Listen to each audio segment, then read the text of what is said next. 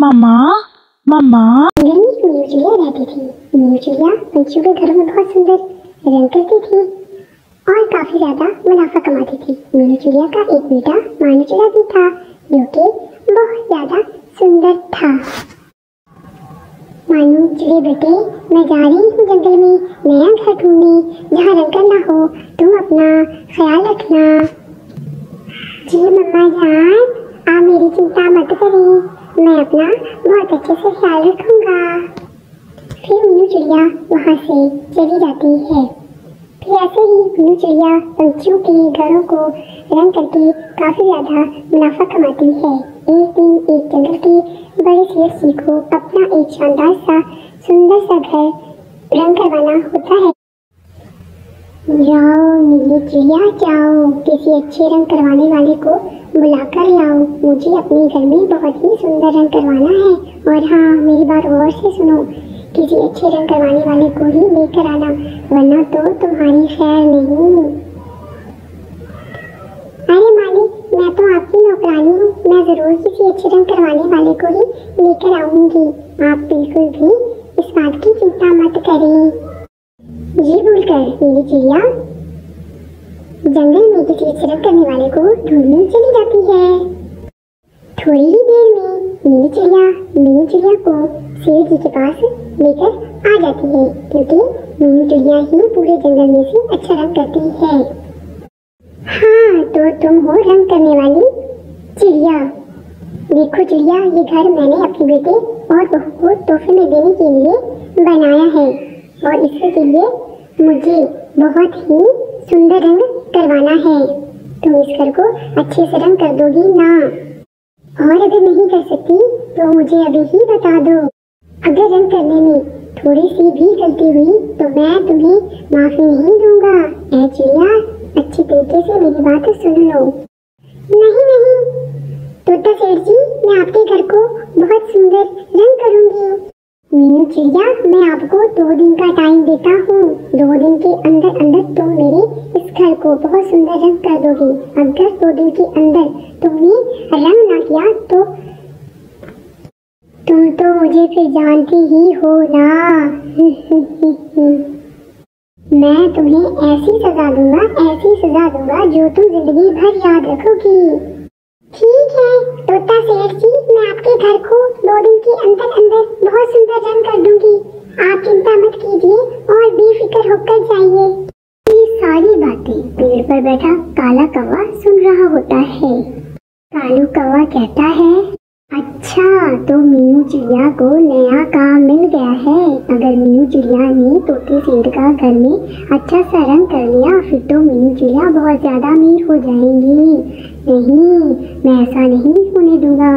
मुझे क्या करना चाहिए? मुझे कुछ ऐसा करना चाहिए कि मीनू चिड़िया इस अमीर तोते के घर को सही तरीके रंग ना कर सके। फिर ये कौवा।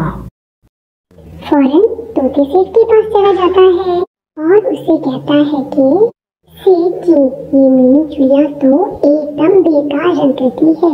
आपको इसको अपना घर रंग करने के लिए नहीं देना चाहिए था। ए कव्वे, तुम कौन होते हो? मुझे ये बताने वाले मीनू चिड़िया सही रंग करती है या फिर गलत रंग करती है? और हाँ मेरी बात सुनो, अगर मीनू चिड़िया मेरे घर को अच्छा रंग नहीं करती तो मैं इसको बहुत कड़ी सज़ा दूँगा। मेरा नाम शेर तोता है और मैं अपनी बात से कभी भी नहीं फिरता हूँ। अब तो मेरे घर को मीनू चिड़िया ही रंग करेगी। और हाँ कवे, अगर तुम्हारी बात गलत साबित होती है तो मैं तुम्हें भी कड़ी सज़ा दूँगा और तुम अपनी सज़ा के लिए तैयार रहना।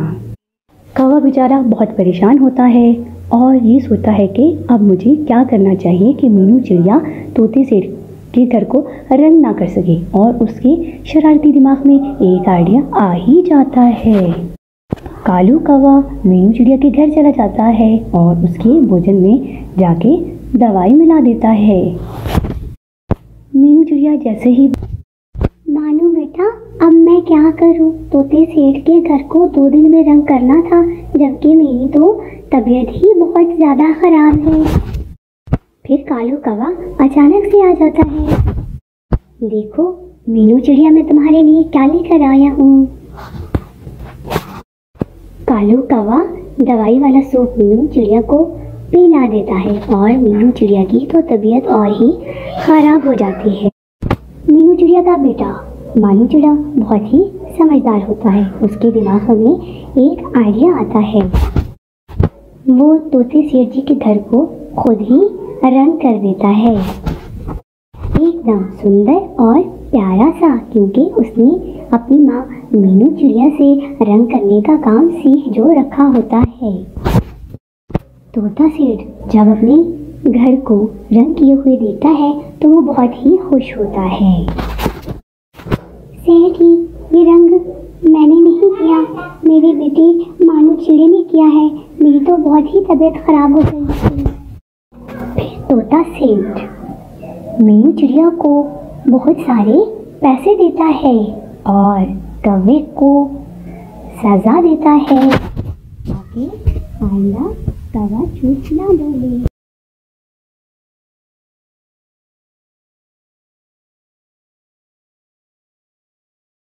मेरे पाँव में बहुत दर्द है। मुझे डॉक्टर के पास लेकर जाएँ।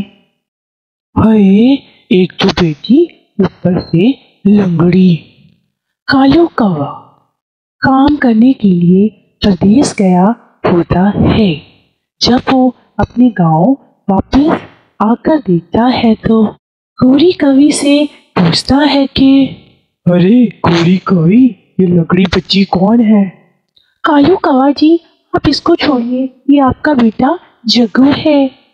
पर बताओ तो सही ये लकड़ी बच्ची कौन है? कालू कवा जी मैंने कहा ना आप छोड़िए। आप आराम कीजिए मैं इसका इंतज़ाम करके आती हूँ। मम्मा मम्मा मेरे पाँव में बहुत दर्द है। मुझे डॉक्टर के पास लेकर जाएँ। कालू कवा जी, मैं इसकी डॉक्टर से दवाई लेकर आती हूँ।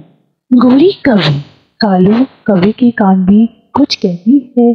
फिर ये अपाहट बच्ची को लेकर जंगल की तरफ़ चल देती है। मम्मा ये हम कहाँ पे आ गए हैं? बेटा, आप यहाँ बैठो। मैं आपके लिए ना डॉक्टर को बुला के लाती हूँ। बाहर बच्ची अपनी माँ का इंतज़ार करती रहती है। अगर उसकी माँ वापस लौट कर नहीं आती तो वो बहुत ज़ोर ज़ोर से रोना शुरू कर देती है। उसी जंगल में सोनी चिड़िया और उसकी बेटी मोना चिड़िया भी रहते थे। मम्मा मम्मा, मुझे रोने की आवाज़ सुनाई दे रही है। क्या आपको भी सुनाई दे रही है? जी बेटा सुनाई तो मुझे भी दे रही है। मैं जंगल में जाके पता करती हूँ कि कौन रो रहा है। सोनी चिड़िया उसकी तरफ़ चल देती है। अरे बेटा, क्या हुआ है? आप क्यों रो रही हैं?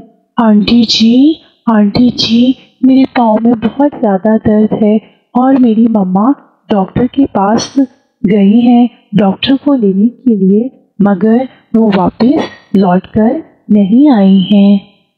बेटा, अब तुम्हारी माँ कभी भी वापस लौट कर नहीं आएगी। बेटा, ठीक है, आप मेरे साथ चलो, मैं आपका इलाज करवाऊँगी। सोनी चिड़िया गोरी की बच्ची को साथ लेकर तोते डॉक्टर के पास चली जाती है। तोता डॉक्टर इसको चेक करता है और कहता है कि सोनी चिड़िया बहन इस बच्ची को चोट लगी है। आप इसको डेली दवाइयाँ दें। ये बहुत जल्द ठीक हो जाएँगी। काली कवि दवाइयाँ पीकर सो जाती है। सोनी चिड़िया काली कवि को अपने घर उठाकर ले आती है। मामा, ये काली कवि कौन है? बेटा, इसकी माँ इसको जंगल में छोड़कर चली गई थी और मैंने इसका डॉक्टर से इलाज करवाया है, क्योंकि इसके पाँव में दर्द थी और अब अपने साथ घर लेकर आई हूँ। मामा, मैं अब उसके साथ खेलूँगी। कुछ दिन गुजर गए और काली कवि बिल्कुल ठीक हो गई। कालू